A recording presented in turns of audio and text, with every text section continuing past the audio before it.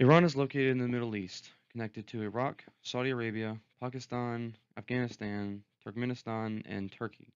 It operates under what is known as a unitary republic, operating under a cleric who assumes a similar duty to what we know as the head of state. Relations with Iran have begun to get shaky over the past few years due to various events, most notably the trade embargo placed on Iran in 1995, but it has been hard to communicate with Iranians about climate change and where they stand on the issue.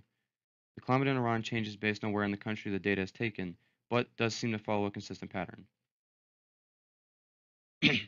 Much of Iran consists of deserts, raising the temperature during the warm months and on a large scale, raising the average climate of the area.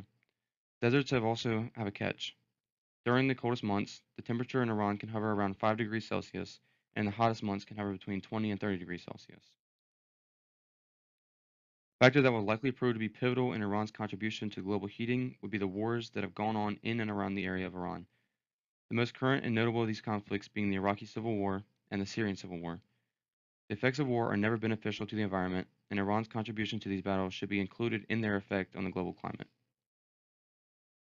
Iran is considered the seventh largest contributor to climate change in the world, based largely on its quote, significant production of oil, gas, and rapid urbanization. Iran is also considered to be the absolute highest contributor to the climate change in the Middle East, as it partakes in the actions on levels beyond other countries in the area. The effect of these statistics are clear on the environment. Bodies of water are shrinking and disappearing. Iran's second largest lake, Lake Bakhtegan, was a place that fueled agriculture for miles around. The lake provided people with a source of water and was the quote backbone of the surrounding communities. Not only was it an important landmark for locals, but it was also an important landmark for animals from both near and far. It's reported that over 20,000 migratory birds would travel to the lake and remain there during the winter. However, none of these factors still apply.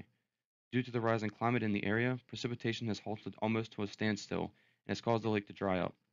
Not only are the birds forced to find a new migratory spot, farmers and people of the area are struggling to recover from the lack of available water. Iran needs to adapt new strategies or look to the future in terms of bleak climate change. Due to their large output of carbon in the atmosphere, Iran has been under a severe drought for almost 10 years. Iran is expected, assuming no correction is made, to have a 2.6 degrees Celsius increase in temperature over the coming years. Not only that, but even under its drought, Iran's precipitation is expected to drop around 35% in the next 5 to 10 years. Of course, this is a slope that only gets steeper without action.